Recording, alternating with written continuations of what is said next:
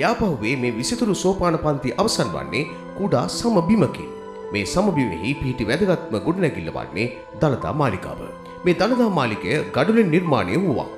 දළදා වහන්සේට ආරක්ෂාව අරකවරණය සඳහා පළවෙනි බුවනක භාව රජතුමා විසින් ශ්‍රේෂ්ඨ විදිහට මේ කලා නිර්මාණයක් හැටියටයි දළදා වහන්සේ වැඩ සිටිය මේ දළදා මාලිගාව නිර්මාණය කරලා තිබෙන්නේ. යාපහෝ රාජධානයේ මෙවැනි විසිතුරු දුර්ලභ සෝපාන පන්තියක් තැනීමේ ප්‍රධාන අරමුණු වූයේද මේ දළදා මාලිගාවට ප්‍රවේශය සැලසීම බවටයි සාක්ෂි ලැබෙන්නේ.